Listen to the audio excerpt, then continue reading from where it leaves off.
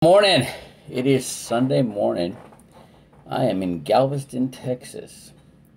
Um, I took my, I flew to Michigan and drove with my mother to uh, Austin, Texas, and um, the uh, so she could be with my brother and his family for the eclipse tomorrow, and it'll be all cloudy. but I uh, Saturday morning we got a chance to listen to um, the uh, oh Jason Cisneros and his chairman um, project. There you go. All right, so it was fascinating. So he's talking about um, special flowers, right? And he gives this story about watching um, Bambi and Bambi and Thumper and Thumper showing Bambi what everything is and says flower sticks his head in the, in the flowers and the, out pops a skunk and he calls the skunk flower right? And then he's you know talking how stinky skunks are right? And um, he talks about people who make excuses on why his you know, his consulting consulting that worked for all these other companies all over the world and everything won't work for them because they have a they're a special case, right? And I'm like, oh man, I hear that so much, right? And um, it, but it it got me thinking about the challenges that I come across. Um, you know, I can put my mind to helping somebody make more money, whatever, right? But if they don't want to, I'm, you know, I'm spitting in the wind. And uh, I'm like, I just got to turn them on to Jason's podcast, right? And uh, they'll, and you got to listen. I had listened to this thing three times live. I did it recorded, driving, and then this morning I did it like two times the speed. So he talks really fast, and it's funny. It's actually enter- more entertaining to listen to, to two times the speed, and I get it done faster. But I, I get a lot of what he's talking about, and um, you know, so it's you know, it's it, and he's he's talking about he you know one of the shows he's talking about niche market. Oh, I'll tell you what, you can struggle and struggle and struggle. You know, it's like hitting the wall, hitting the wall, hitting the wall, and then you take a step to the left or right and walk through the door and that's what it's like when you get in the right market, when you're talking to the right people that relate to you and that need, really need and want what you have. It's, it's, it's a whole different game. Okay? And so I'm thinking, you know what? This is it. Because what it is is really, I'm, I'm in the car with my mother. My mother is, listen, my mother she votes Republican, but not for Trump, right? She's the most liberal Republican I've ever met in my life. And I didn't find this until years and years later. My mother literally grew up across the kitchen table from Michael Moore, the liberal producer. My mother's cousin is the PR guy for Michael Moore, right? And I'm like, I'm thinking he's not the one that influenced him. There was somebody there. There was somebody else there, older than all of them, that that you know, embedded him with this liberal garbage, right? And uh, but he, she's listening to Jason Cisneros, and things he's hitting on, she's listening to, and she applied. My mom bought her 20 acres in Michigan on a lease option contract, um, or rent to own, right?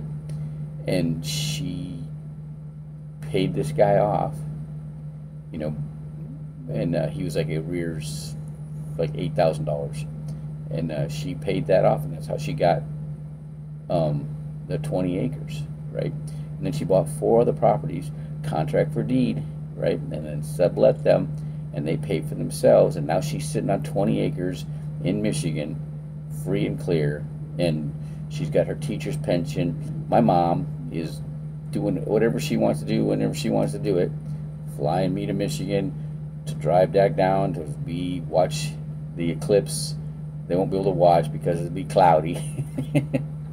but she can do what she wants, right? And so she's got this liberal bent, but she's listening to Jason Cisneros, and and he's really edifying her because she did what he's talking about. And that was awesome. That was awesome. And I got to explain to her, you know, the, the things that happened in, you know, with me, um, in, in my business, career, the, you know, the mistakes that made, the things that happened, you know, um, you know, that caused, those are really hard lessons, but they're, they're embedded. I'll never make them again. You know, when I was in the mortgage business, I always knew what goes up's got to come down. And, uh, you know, and that's what got me to see financial services. But, you know, my business partner and my wife didn't see it that way. Okay. And so we got resistance. Rather than, you know, focus on the same thing, we went this way. Okay. In, in every every way possible right? She felt betrayed because I wasn't with her doing loan modifications. But I'm like, you know, I'm approved with 70 different, 72 different lenders, and not one of them was calling me up asking me to market their loan modification product. The banks are not on our side, and um, I ain't doing it. And she poured all into it, right? And she had a whole bunch of people that she got their money and didn't perform, and they lost their properties, or they got in big trouble with the you know with the banks because, and then they were out money, and and you know she she ended up having to move, and um, you know, but it's you know you got to pay attention to things, right? And um, this Jason's um, chairman project he's hitting on so many things, man. I wish this had been around back when I, you know, there's a whole bunch of things that I wish would have, I, am coming across, I wish would have been around when I first, you know, went on my own, you know, when I got out of the military and, and started, you know, getting into business and sales. Um, this, if this would have been around, it'd have made all the difference in my life, right? So now we're start, you know, I came here to stand up a, um, a, uh, Voc rehab program for veterans and ex-felons never got off the ground. But through Jason's growth course, and I was able to adapt that to the uh, the temple flow in the Bible. Um, we're going to do a business incubator um, program, right? And I got another guy that, that franchises businesses for veterans. Um, Mom was talking about in her township in um, you know Manton, Michigan, they don't have ambulance service, and I'm like, there's got to be man some entrepreneurial minded veteran just needs to start an ambulance service. They don't need to vote on it because they'll get the calls, right?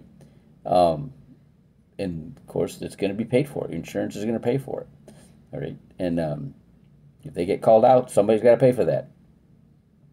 And so if somebody who's smart and uh, they're an EMT, they just need to start, you know, buy a buy an ambulance, get go to the bank, get a loan, right? Get a, a small business loan, and uh, go through SCORE, help help you get it together, and uh, get your ambulance, and you're in business in Manton, Michigan, right?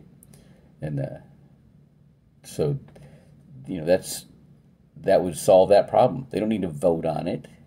They just needed somebody just needs to do it, and that's kind of what Jason's talking about. You know, you you see a need and you fill it, and you're in business.